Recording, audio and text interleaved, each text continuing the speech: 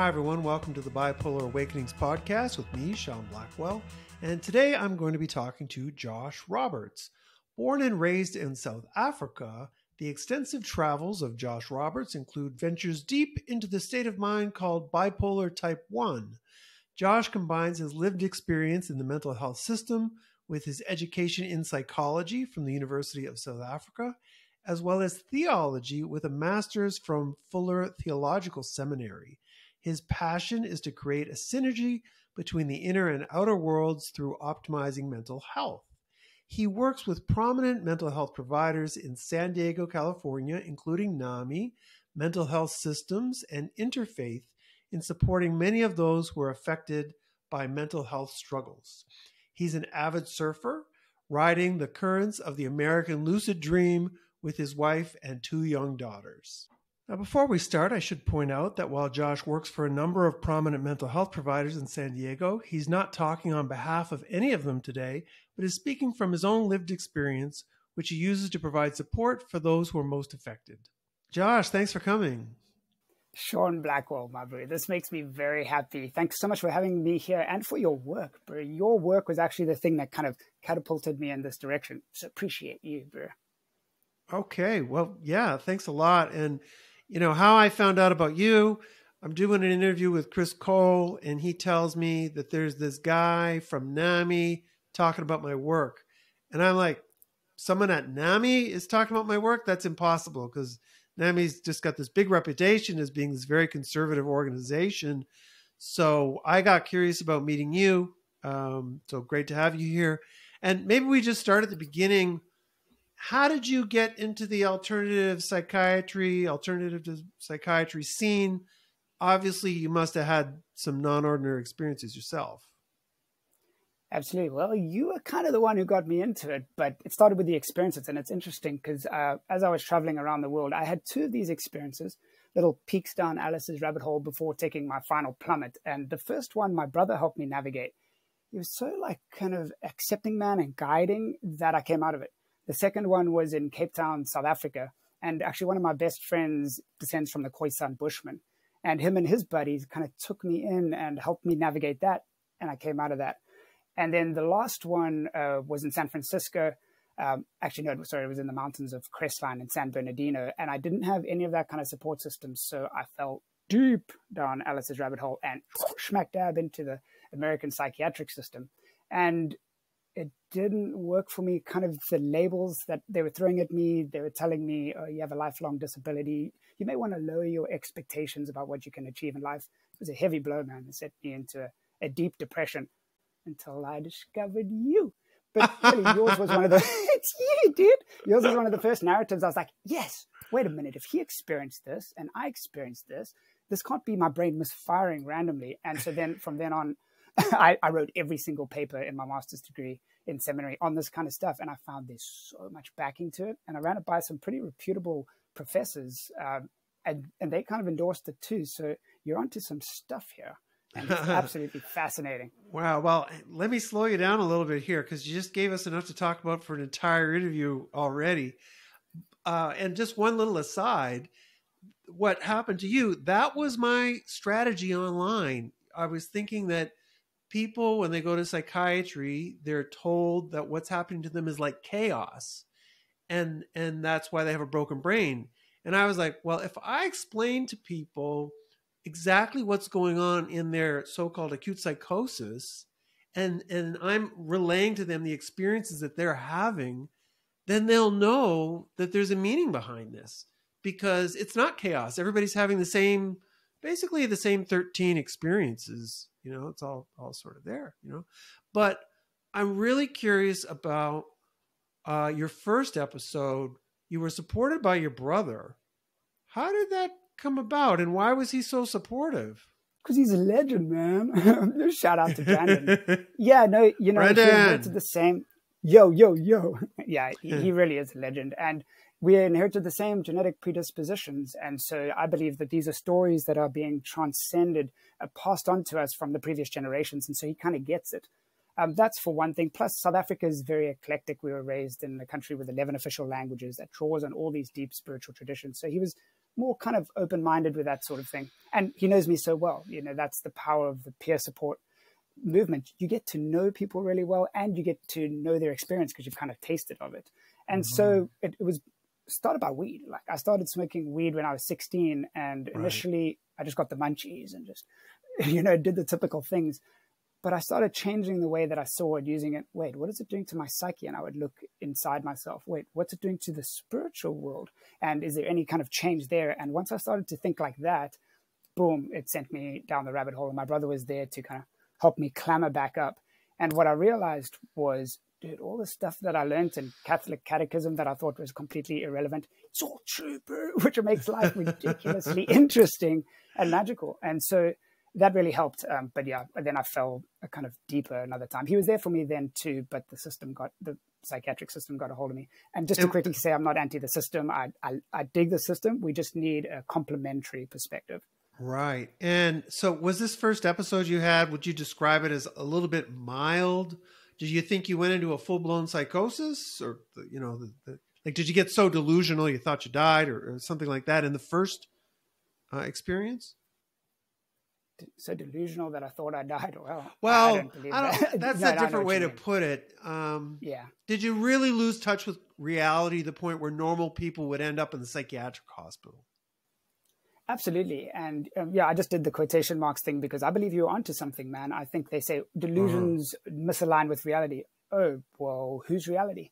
Mutual consensus reality. We know that So yeah. I'm just validating the whole I think I died thing. That happened to me in Cape Town actually. But the first time I didn't yeah. think I died, but I would definitely have been hospitalized because my ideas um, were so misaligned with mutual consensus reality. So, for instance, I was getting these high dimensional downloads, which were increasing in bandwidth. The more I explored it, um, I knew when my phone was going to ring and who was calling, when the birds were going to fly past. I could look deep into my brother's eyes and see into his soul. Um, and so if you go around telling people all this, and I was kind of loud and rambunctious. So if you do that on the streets of La Jolla or something, you might be taking a little trip to to the White Walls or something. But it, it worked out at that time. Once the weed wore off, I came back out. Um, that wasn't always the case. Okay, so he sort of knew where you were going. It wasn't the full blown. It doesn't sound like the full blown acute psychosis kind of thing. And I'm struggling with the language because you know I don't mean psychosis. We'll say full blown spiritual emergency, right? Absolutely. It wasn't. It wasn't to the point where you were getting yourself in deep trouble. You were just annoying people. That's usually associated with a sort of a bipolar two diagnosis. You were kind of just annoying people, but but your brother knew what you were going through. He had that he and he knew you were smoking weed, getting in touch with that spiritual dimension. So he just decided to ride with it to a certain degree. Exactly. And that really helped and the closeness that we had. And, you know, I think that depending on how far you explore that, if I had then taken to the streets of San Francisco and wandered around, if you keep exploring it, I think it, it can go as deep as you allow it, it to go. And to the extent you have the maps that allow you to navigate it well, it could either lead to, I don't know, little glimpses into the nature of reality, or it could lead to some dangerous situations. Um, so at that point, it kind of closed off. Uh, but I think I could have well explored that deeper and gone into a full blown so called psychosis. Okay. All right. So that's how it started. And then, okay, so then your next episode's a little bit more intense. Then you get into the psychiatric hospital in San Francisco and you're like, dude, this is not my beach. and, and, and where does it go from there? So uh, once I came out the hospital, I was given the medication, um, which kind of served a purpose for a while. It kind of brought me down until I was like, wait, was that real? Until it started burgeoning through that, I was like, oh, it is real. And these weird synchronicities start happening. And I think, no, no, there's something there. And as is typical, I messed that up and I, I got off the meds too quick, ended up okay. getting hospitalized again. Um, so I actually, overall, I was 5150 or taken to a psychiatric hospital against my will six times and was arrested twice. So I made a lot of mistakes, man. And you know, it's kind of understandable given that no one understands how this stuff works. And we're certainly not taught it in, in middle school or high school. And so that's why it's my passion now to try to build maps that can allow people to navigate it better. Wow. Uh, and you're you're you're off medication now, right? I am. Yeah, yeah. For years, I've been off the meds. How long has it been?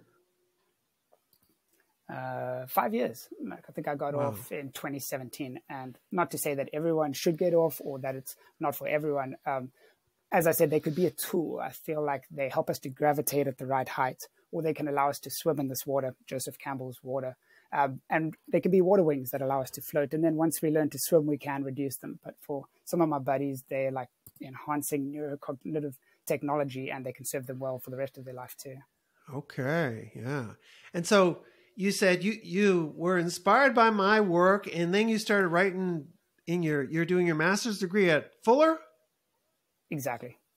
Uh, and why were you in theology?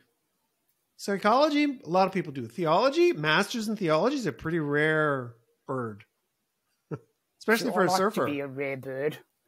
I like to be a rare bird surfer. Uh, my profile yeah. picture on Facebook is Jesus as a surfer. I think Jesus would be a sick surfer. He's probably the best, and I want to ride the currents like he did. Yeah, man, it was really um, that first experience in San Francisco that showed me. Wait a minute, all the stuff that we kind of just took as mythology, or maybe I should believe it, and but didn't really believe it. I realized it's all true, and the Bible, that kind of modality, gave me the most solid map. I mean, I guess it's kind of similar to Rick Strassman in his DMT studies. It starts off as a kind of reductionist materialist. As soon as he discovers these domains, his latest book, DMT and the Soul of Prophecy, actually comes up with the Hebrew Bible as the richest framework to navigate these things, basically the Old Testament of the Bible. So I found the same thing. I found that, you know, I wouldn't be surprised if, in fact, I do believe that Jesus went through some of these navigations himself, but navigated it well. Um, so, you know, and I was surprised how receptive the professors were, how receptive the students were it, w- it was like a magical Hogwarts place full of seminary. It was amazing, man. And so it now I was like, what am I going to do with a theology degree? But it transformed my lenses, and when you transform the way you see the world, everything you see changes. So I'm I'm stoked that I did it. Wow. I get the impression that people who are studying theology usually become priests or ministers or something. Is that a misconception? No, I would say a good 80% of the people who I went there with do do that. Um, I just struggle to fit in any kind of boxes. Maybe I'm just a rebel at heart and I rebel against boxes. Um, so I, I, couldn't really fit inside the, the walls of dogma, just like I couldn't really fit inside four walls as a therapist. Um, but this kind of a thing, exploring the frontiers of consciousness, it aligns both. It like it aligns the world of psychology and spirituality. Wow, there, there's just a movie there, you know. Surfer goes to theology school that's a movie, you know? That'd be so sick, bro. Like the first day that I got there, I was at this like kind of gathering with the students. We went out for little sliders, and I was telling the one girl my story, and she's like, "I'm so glad I came to this seminary because this guy smokes weed and discovers Jesus, and and this is where he comes." It's like I smoked weed and discovered Jesus, bro. Oh, right. By the way, I'm not endorsing weed. Um, no, you are endorsing weed. I'm not endorsing weed. I'm not endorsing weed at all because it's the biggest trigger for people contact me with with manias, you know, and the episodes and that. And it's paradoxical for me, you know, because I know these things have a great potential for healing and, and awakening, and that's what happened to me. But at the same time, when usually when people go through the drug induced way, it seems to be more difficult you know, they, they, they don't make it through the way it happens to people who say get there when they're meditating 10 hours a day and then they have their opening. It seems to be easier to navigate when you get there through mystic experiences or just by accident, like what happened. So right, Sean. Yeah. yeah, it's almost like um, you're strapped to the rocket ship using substances, and you kind of get the perspective, but you have no control. Whereas if you can learn to steer the rocket ship, which requires learning physics, which is a mission, um, then you're steering a rocket ship. So I've found the same thing steering the rocket ship is a great thing for us to talk about, but I think that's about 20 minutes or maybe an hour into our conversation. So I want to go back. Okay. So you did the theology thing, you're doing all your master's degrees, and then uh, you're hooked on the sort of alternative perspective. And that's cool. I mean, I meet all kinds of people who love my work and, and lots of people who embrace an alternative perspective. I've never met anyone who's done a damn thing even close to being involved with NAMI and having them be supportive. So, how did that come about? Oh, man. Uh, this is kind of the approach that I take to life in general. Um, when I'm going to go through something, I want to work in that field so that I understand it. So, like when I found out I was going to have my first daughter, I went and got a job as um, a child and parent coach so that I could learn kind of psychology. And when I went through my deep depression and I was being told all these things about my bipolar, I was like, that's it, bro. I'm gonna I'm gonna work for the, the biggest name in the field. So I just Googled NAMI. They happened to have a vacancy in San Diego. I followed the synchronicities. Uh, and I mean, at the time, I believed, and I was still like kind of accessing a little bit of the mania, a little bit of depression, a bit of the mixed state. I believe this was like a version of the CIA. I was being recruited for like the best of the best. Um, and so I took it really seriously. And, and and it was really interesting because I got a, a lot of experience real quick. I worked for a program called IHOT North, the in-home outreach team. And so we would serve treatment resistant people in the communities, in the jails, on the streets, uh, in the psychiatric hospitals. And so if you wanted treatment and you call IHOT, they're like, oh, sorry, there's other places for you. We were the ones who people didn't want treatment. So I had to really learn the nuances of the field and also kind of how the field interconnects um, because it's a complicated system. But weren't you treatment resistant too? Depends on what kind of treatment, right? Yeah. Oh.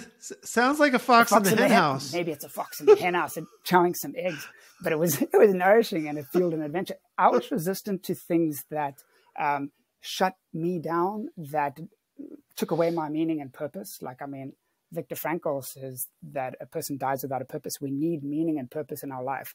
So I found Nami embraced that, and they were so cool from the beginning. Like never did they shut me down. They actually wanted to hear the voice of the peers. I'm sorry to hear that. Um, maybe that's not the case around the country. I actually didn't know that that NAMI had that kind of position in San Diego. Very open minded, um, and they were so cool really? from the beginning. Like I could say nothing bad about them.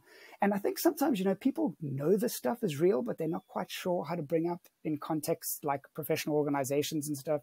So pretty soon in to working there, like I went into the office and I told one of the, the ladies there, the quote by Joseph Campbell, the person in psychosis is drowning in the same water that the mystic swims with delight. And she was like, oh, that's good. I come back sure. a couple of weeks later and she's got a poster on her wall of that quote.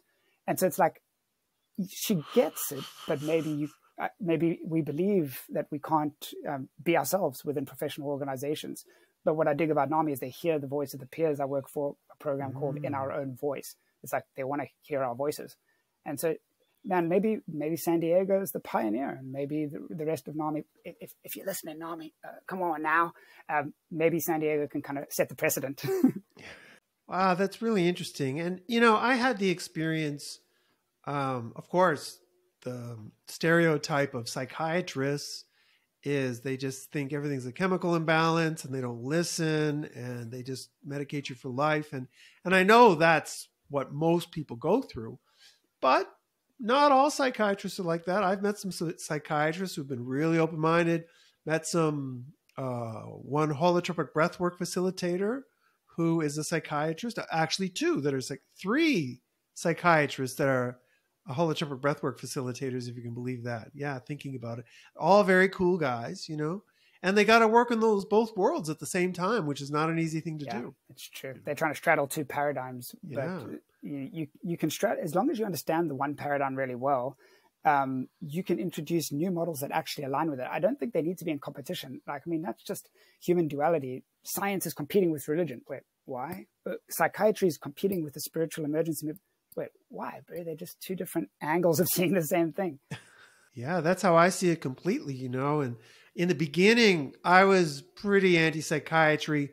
My first taste into this world, uh, along with Stan Grof's work, was related to Robert Whitaker, Anatomy of an Epidemic, and and the Mad in America movement on, on in their online site. And even though Robert Whitaker's not like that, there's a lot of people there that are very anti-psychiatry. I mean, it's just really hostile.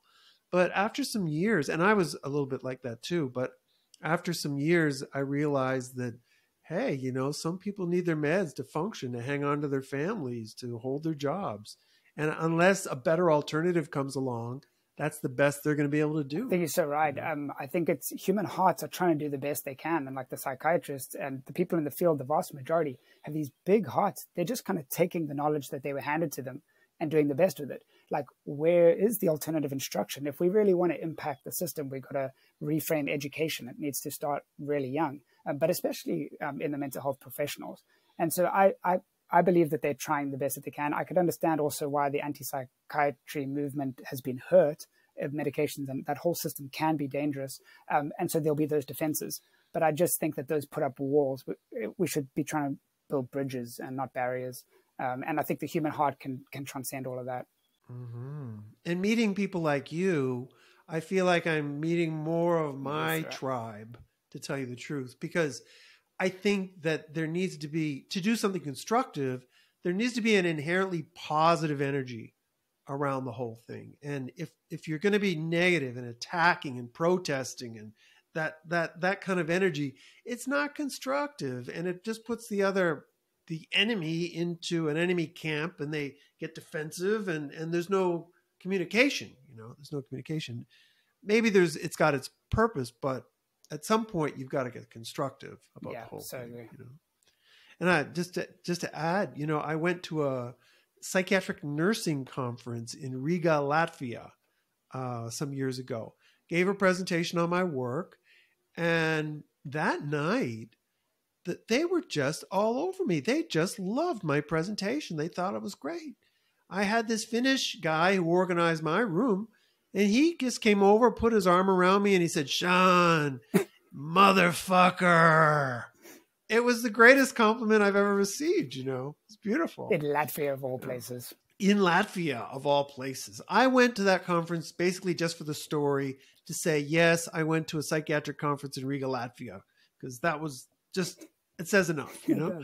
But so you're you found them immediately receptive when you went in. I earned their trust. I mean, I didn't yeah. come at them. In fact, I didn't know all this stuff. I was just discovering it. Um, so I didn't come at them. Hey, da, da, da, I, I, just uh-huh. like you know did the best job that I could and built their trust and did a bunch of projects for them and, and earned that. It's relationship. It's the human hearts thing. It's like no wonder the the Latvians were receptive to you because there was that connection of the heart, regardless of geography. So um, I built their trust, and slowly but surely they realized I could kind of navigate it. So maybe there was something of value, and now they're like actively endorsing it, which is such a blessing, man. How did they find out about that? Like, uh, well, first, how did you navigate? How did you get through? You know, you were hospitalized six times. How did you get through? Uh, how do we walk? We just it's uh, walking is a series of coordinated falls oh, and then you catch yourself, and then you catch yourself, and then you catch yourself. So I guess I just learned to fall and coordinate myself on the falls. But really, uh, cutting out weed was a big deal, man, because one hit of weed would send me straight down the rabbit hole. And I was like, yeah, but that's my my source of insight and mystical truth and all that kind of stuff. Until I realized, wait a minute, the 12 step programs are all about inducing a spiritual experience. The 12 step, as a result of this spiritual awakening, we take this message to others. So there is a way to access the sober and kind of control the rocket ship. So cutting out weed was a big deal. Um, learning the tools, right? I mean, and I was working in the field, so every day.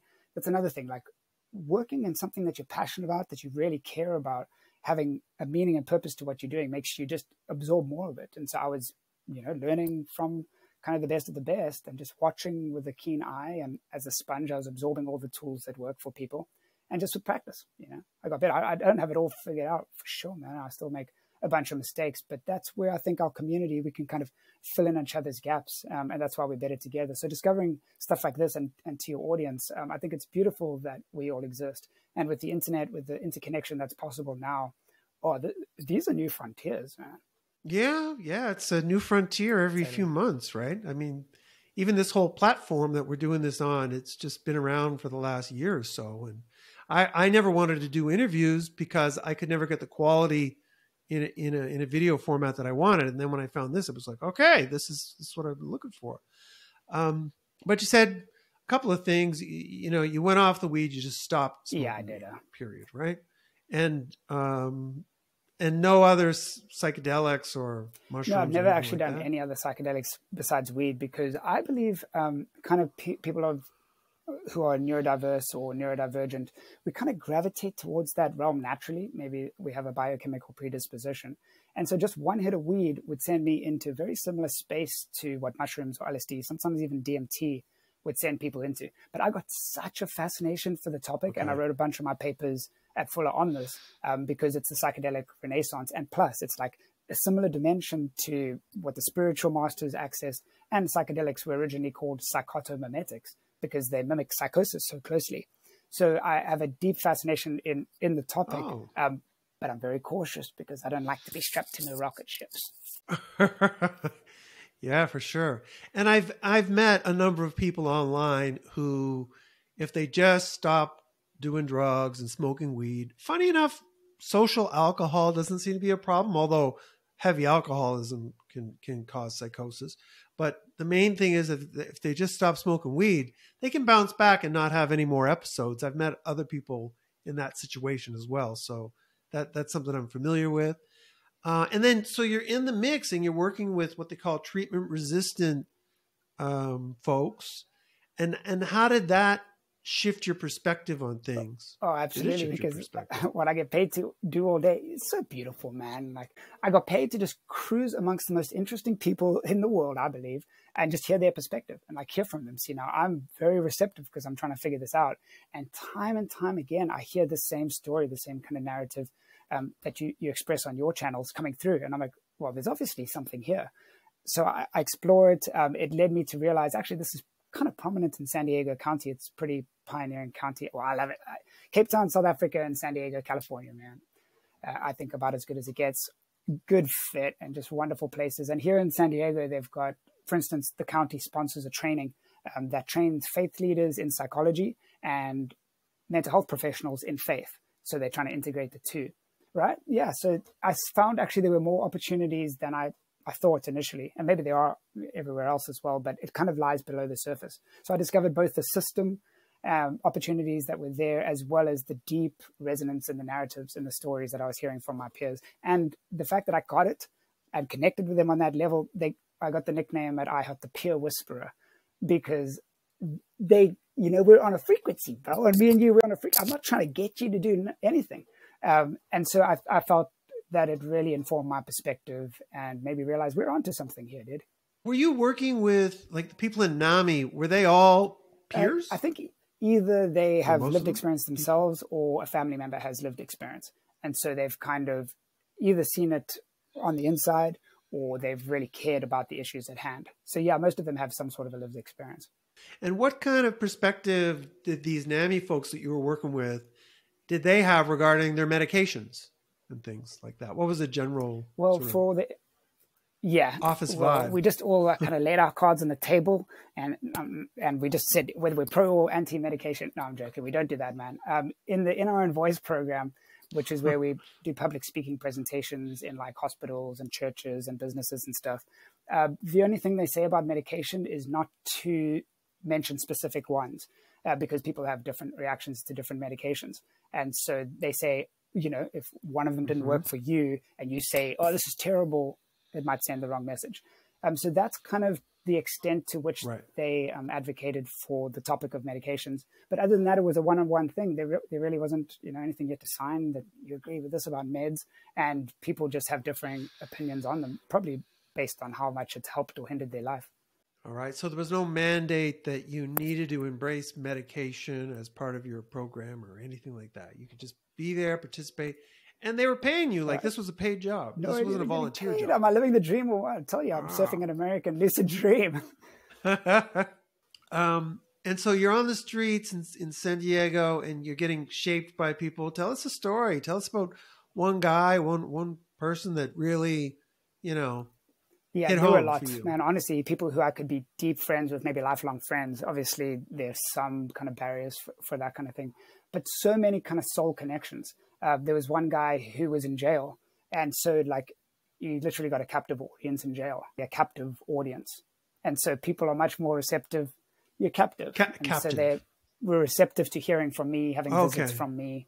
Um, you know, not everyone embraces this. Some people just shut you out, but this guy because I could kind of meet with him literally where he's at, um, I could hear his mind and his brilliance. He, mm-hmm. he had a master's degree in philosophy, um, and so I would buy him books, and I'd he'd just spend the time reading, and we'd discuss the books. So we really built a relationship for months in jail, so that when he was released, I was the guy that he trusted. And so, and that was the cool thing about IHOT, right? We had funds that we could hook people up with a hotel room for a night, um, trying to set them up with these longer lasting things that outlived us because we were a short term program.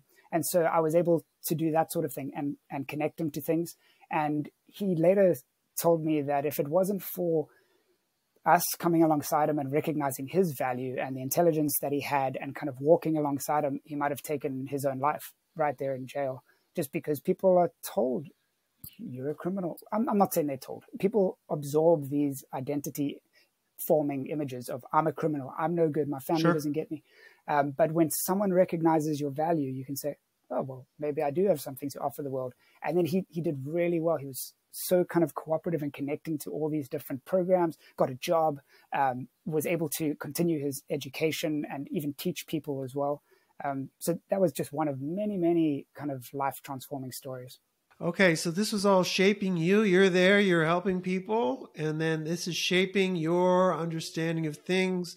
It seemed to bring you to a better place. How, how do you think you moved personally from where you were prior to your first episode until um, you started doing your program? Yeah. Well, how, how did you hugely, shift? I think, because I was kind of adopting just what I was told in high school. Like, oh, reality is like this. I don't know. We're random atoms bumping up against each other. There's no real purpose. I was like, are you serious? So, and I thought, you know, there's the corporate world. You've got to climb some sort of a ladder. Start your climb, bro. And and then I got pushed off my ladder. The whole thing crashed, and I was like, wait a minute. If I'm going to put this thing back up, which wall do I want to lean it up against so that I'm stoked when I get to the top? Um, so I didn't exactly know, but as I started taking this journey, it just started like manifesting itself in front of me, these little breadcrumbs that I would follow until the path just unraveled itself. So I'm getting more and more evidence that there's a larger intelligence force behind the world and that is, you know, kind of looking after us and is making reality magical again. And it's it's absolutely intriguing. I had no idea you could make money doing this kind of thing. I had no idea that these states of consciousness were legit and like so many of the spiritual saints and stuff tapped into them as well. And I feel like the West needs a bit of a reminder of our of our roots. And so that's what I'm trying to do. And so it's personally made every day an adventure like this, man. The way that we're able to talk like this, like even the alignment of things, the way things are laid out, even on the drive down here, I've just got this kind of web in my mind that's constantly being enriched so that I have a, a deep meaning and purpose. And it makes me stoked to wake up every day, pretty much. Stoked. Stoked. Sounds good. And, and that was another uh, Joseph Campbell analogy, right? He said the uh, a midlife crisis is when you've been climbing the ladder, your ladder of ambition, and then you get to the top of that ladder and realize your ladder's on the wrong wall. Right. So you gotta move it on, move it over, you know. And I sort of went through the same thing, you know. Although I, my corporate ladder, I knew I was on the wrong steps, like the second rung. You know what I mean? It was like this world, this advertising world is not really meant for me, but I couldn't see an alternative. I couldn't see another possibility, you know. And then I just had to sort of blow the whole thing up and be like, okay, well, there's no possibility. But I had I had tapped in like from my hospitalization, tapped into sort of that maybe the best way to describe it at this point is the quantum dimension yeah. of life, you know? Because at least there's some scientific backing that there is a quantum dimension to reality and you know it's it's where particles are more like waves and and and that's i think that's what we're tapping into you know there's no time no space we're all connected um, there's some there's some physics behind that and so that's sort of my way to relate to it. I think you know? you're so right. And understanding that there is physics behind it, there's also anthropology and history and spiritual theology behind it. There's a lot of a lot behind it. Um, but just for you, having kind of left the rungs, um, it's hard for anyone, you know, when you've spent the time climbing the rungs and then to think there's no alternative. Yeah, we're doing that because what else are we going to do? But when you, you are pushed off the ladder or whatever happens and you discover, oh, wait, there's some other kind of interconnectivity, um, it can open up all sorts of pathways. And I mean, you know, we wouldn't have met each other if you hadn't have jumped off that second rung and you wouldn't have had the influence in the world. I mean, maybe you would have blown up as a marketer or whatever, but you, you might not have had the influence in the world you've had now um, if you hadn't have stepped off that ladder. So I do think that there's a, a quantum entanglement and yeah. meaning and purpose behind a lot of what happens. I might have been doing those Super time Super Bowl halftime shows, though. You never know. I mean, that could have rolling in dough, man, but maybe not. No, I'm I'm Money quite doesn't exactly buy that. I think I would have been extremely successful and extremely miserable and probably divorced four times. Yeah. You know, one of those guys. Wow. So we're certainly on the same page and and you know, even a couple it still gets me though. You know, I still I still fall into the trap because a few weeks ago my schedule just went dead. You know, like nothing. I had three clients drop in the same week and it was I was just so bummed out for a couple of days, right? But then I started to see the links to my infancy, took it to therapy, realized that some of these feelings had very deep roots, started working through them. And you know, the last two weeks has actually been pretty cool. You know, we're doing this, and a guy uh, from a city nearby invited us to come and see his social program. And he's like running a building donated by the Catholic Church, 20 room facility helping kids that are um, have, have, been um, exposed to severe violence and things like this. And he wants to bring us in. He wants to bring my wife and I in and run some programs there. And he's got a house next door. He wants to turn into a sort of Soteria kind of place. And I was like, this is awesome. This is everything I'm looking for close to home, you know? So that things went quantum pretty quickly. They did. And, and in two weeks, I mean, two weeks ago, you couldn't have kind of predicted some of these things. It's like you never know what's going to emerge. And it's so cool, though, that you're like tracing the roots. No. You were able to go explore these things. Okay, what is this? Is there some sort yeah. of a lesson or healing that needs to happen? And maybe we do circle the same mountain until we've kind of got the lesson as the Israelites did, and then you, we can move on. Um, yeah, I'm still going through those circles and still, you know, working on stuff from ancient history, you know, for right, my own stuff. Yeah. Okay, so you're a NAMI. You make this wild video where you mention me. That video you made is um, to promote. Is it to promote your program? No, so that's the NRN voice presentation. So, like, I started doing those uh, back in like 2018, as soon as I graduated seminary. So it's a public speaking program, and so I kind of presented that story mm-hmm. before the NAMI leaders and the managers of that program, and they were stoked. And so I've been telling that story, a very similar version, for years. And then now with COVID, NAMI has obviously mm. gravitated more towards the digital domain. And um, we were like, okay, let's publish this in video format. And so now it's on their YouTube channel. So it's basically the same story that I've been telling for quite some time. But it's no, it's not to promote anything. It's just it's to tell my story, oh, and okay. it's um, in three phases. It's like what happened, what helps, and what's next. And so I kind of go through some of these things and just to know that other people have been through it and can come out with post-traumatic growth things can be better on the other side than they ever were before can be hugely encouraging to people. So i love public speaking. It's fun. Yeah yeah and i'm Thanks. sure you're great at it. And so one of the things you mentioned in this video which which was quite interesting and chris cole has brought it up in the past was neurodiversity. Uh, what is it that you teach about neurodiversity in your course? Like how do you see neurodiversity and what do you bring to the table with that yeah, for people? Neurodiversity I see as a kind of a subset of biodiversity that a this intelligence that orchestrates the planet wants to preserve diversity because some people have different abilities than others. It's like if the world was made up of all Wall Street bankers, you know, we wouldn't get far. And if it was made up of a bunch of hippies, we wouldn't either. And so neurodiversity is an intelligence that has made us the way we are for a reason.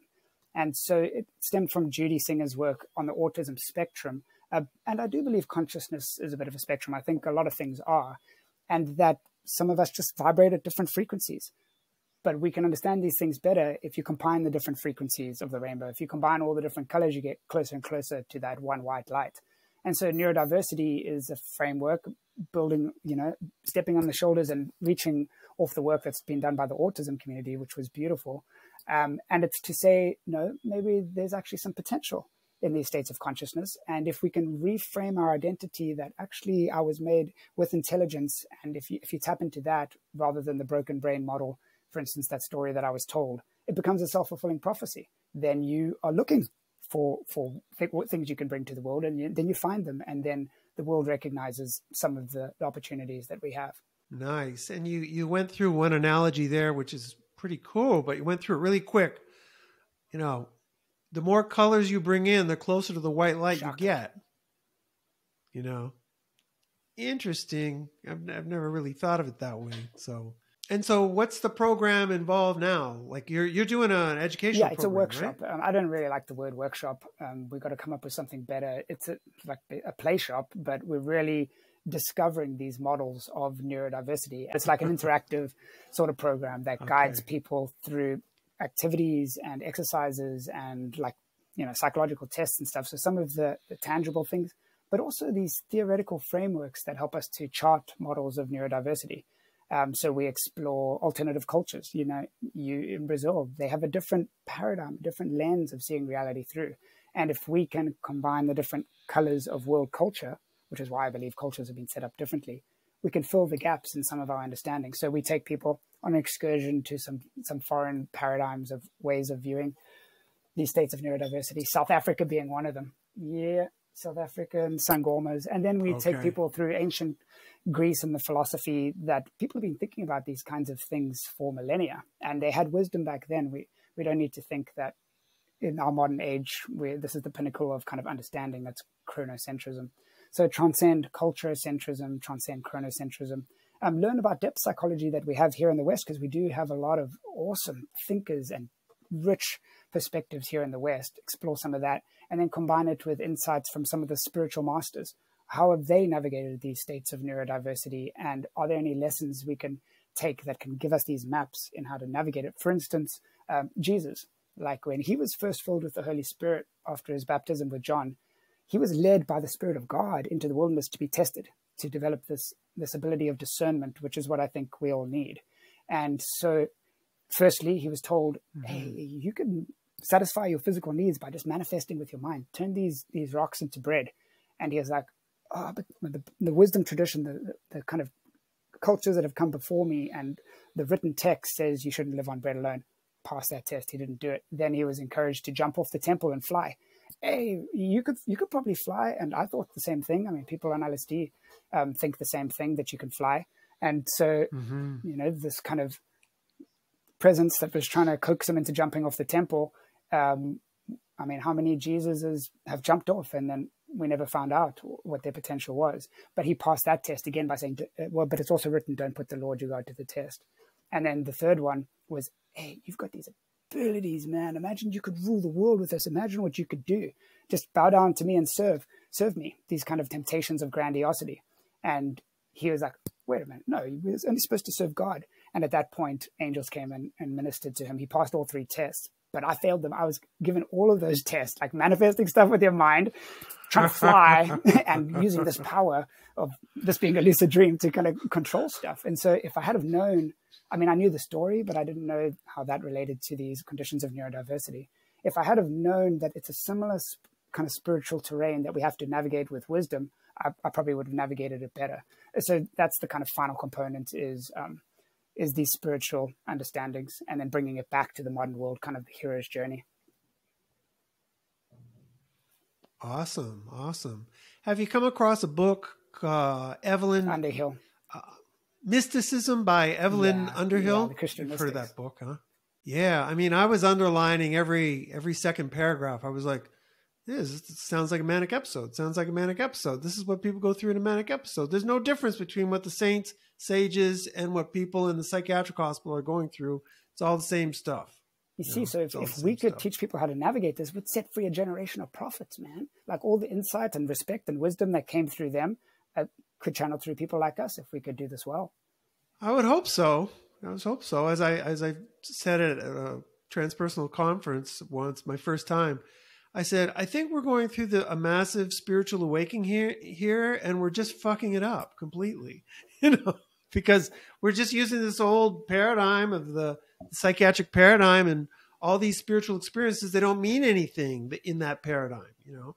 But you've got to and you've got to go back and you've got to go back to tribal interpretations or or esoteric religious interpretations mystics interpretations of the mystics christian saints monks their experiences and all through history you see these kind of experiences and people come out of them and, and they go on to do great things sometimes. Yeah, it's so true. Uh, the old paradigm, I guess, um, like Hegel's model, the German philosopher Hegel was pretty cool. There's like a thesis, then an antithesis, mm-hmm. and then there's a syn- synthesis.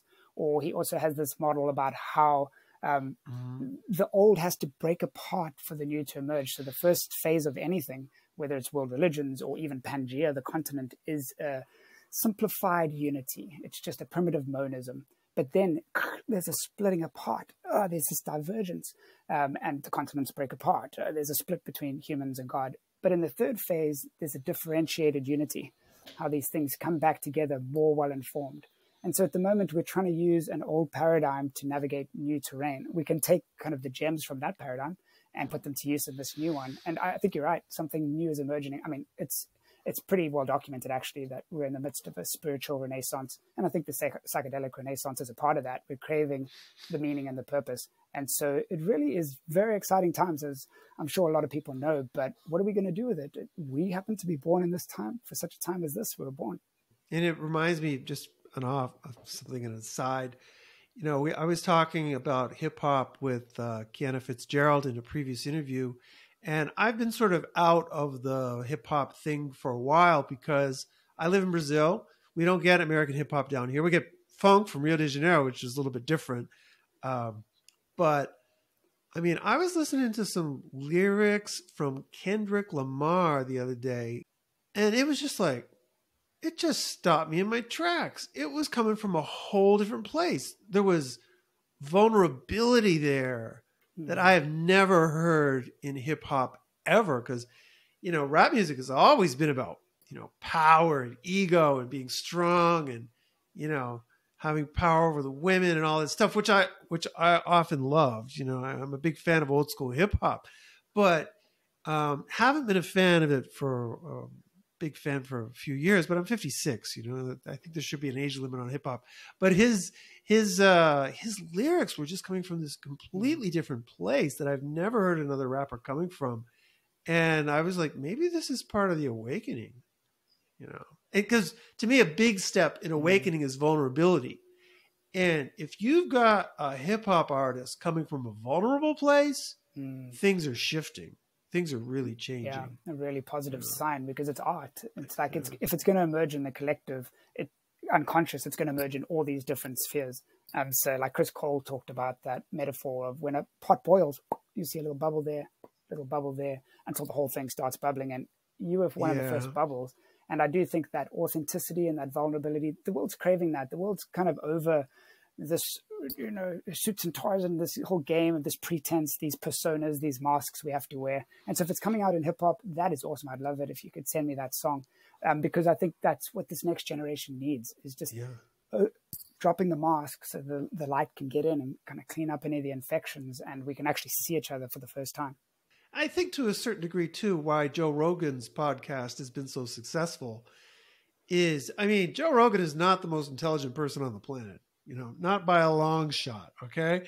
But yeah. he's very real in his podcast. You know, he just he is who he is. He doesn't apologize for it. And uh, he's very curious. He's just so sincere in the way he goes about his thing, you know. Um, and to me, I think that's what's what's yeah. really needed. It's really needed, and, and it inspired me to do interviews. Oh, actually, cool. So Yo, shout Joe, out to Joe Rogan. This, hello, bro. Give, give, stop calling me, dude. I need some time to just breathe a little bit, Joe.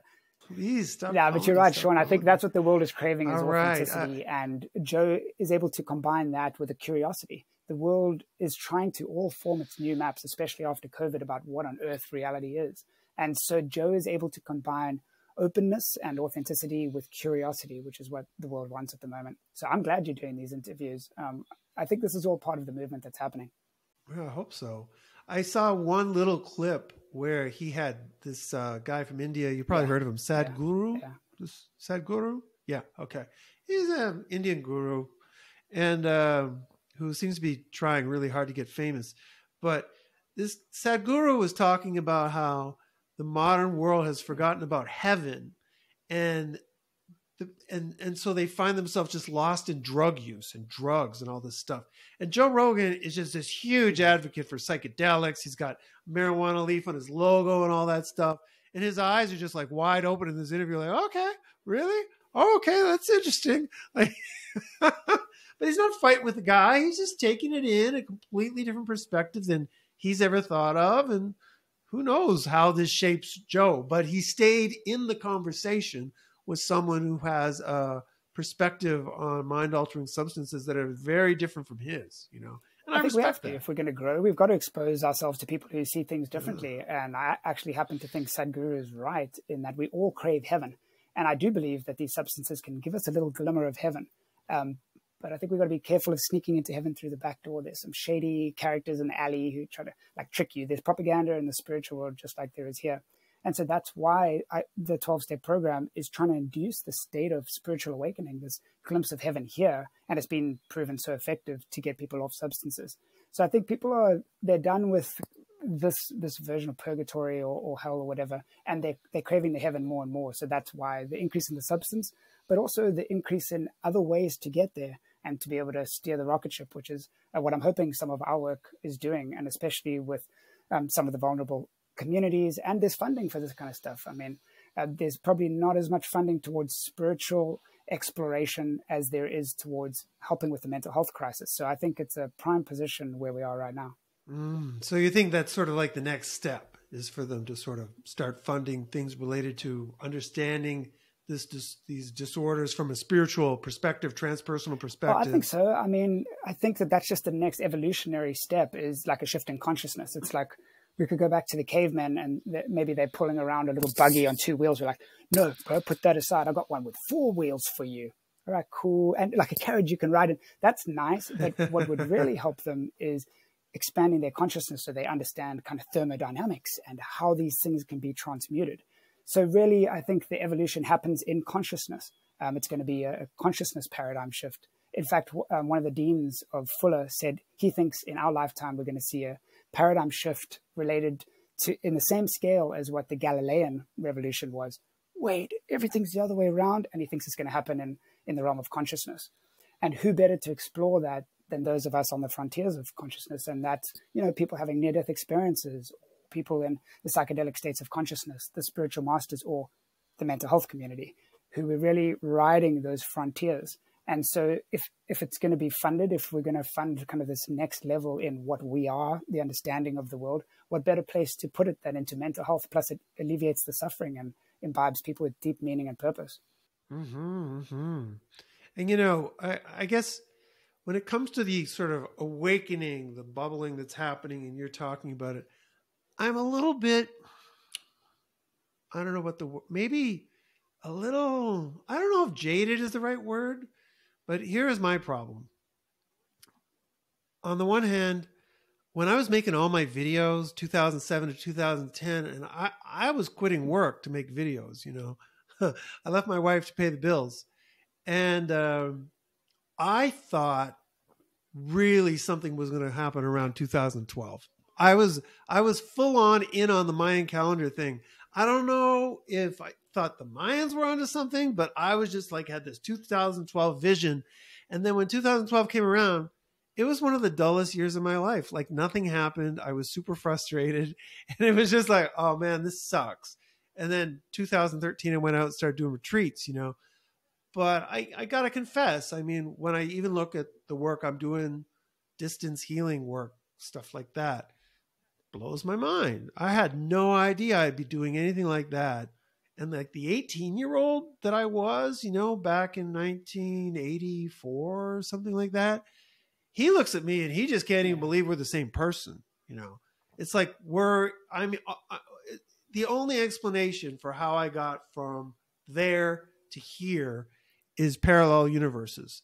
I think I've been just sort of jumping through a fair, few parallel universes every once in a while that that have led to this sort of awakened or increasingly awakened space. I know I've got more awakening to do, but just the fact that we can have this conversation the way we're doing, I think speaks to an awakening happening, something unfolding. I think you're so right, and it, it's yeah. really hard, you know, when you're one of the first to bubble up in the pot, and for you, it's really exciting. You know, you can quit the jobs, um, but then you're like, "Where's the next bubble coming?" Where's the next bubble coming? I mean, I would imagine that Vincent van Gogh felt the same thing when no one was buying his paintings. Oh, you were just a couple of centuries ahead of your time. Same thing with William Blake, man. Like no one really recognized his genius until now. Um, so I think that the parallel dimension thing. Well, I'm glad that our timelines intersected, our dimensions intersected. But I do think you were laying some things down um, that now the bubbling uh, might start to be seen, and even like the reduction in the clients you were talking about uh, that could be a steering in a different direction towards new opportunities. And so, yeah, it can be really hard to be ahead of the pack. It can be lonely ahead of the pack. Um, but we got to have those kind of neurodivergent people in our midst because the pack needs a bit of different perspective. yeah, and you've got it for sure. You've got it for sure. And and I'll tell you, the one thing that got me through, I think, was just remembering and reminding myself that this is what I always wanted. I always wanted to be on the leading edge of something. And then I went out to conferences and I was like, uh, Leisha, like my wife, I'm like, we're miles ahead of everybody. I mean, they're, they're, we are the absolute bleeding edge of the whole thing. And this is what I always wanted. So when I go through these down periods and take shit from people or whatever, it's like this is part of it. You know, this is part of the the, the leading edge, and it's very validating to you know have you here and and see how my work has led to what you're doing with NAMI. So for me, it's like if you're influenced by my work and then you're doing what you're doing at NAMI and you're changing how they're doing things, then that means I'm changing things yes, at NAMI. Dude. You see what I mean?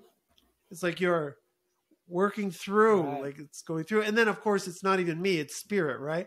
It's like healing fields coming through me, it's rippling through you, then it goes through NAMI, then boom, boom shakalaka. Now, boom shakalaka. That, but you're so right. It is. It's exactly that. And there's this larger story that's trying to emerge.